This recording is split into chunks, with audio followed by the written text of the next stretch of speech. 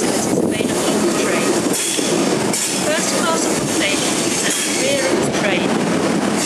To assist the staff in the safe and punctual dispatch of your train, please close doors and windows behind you.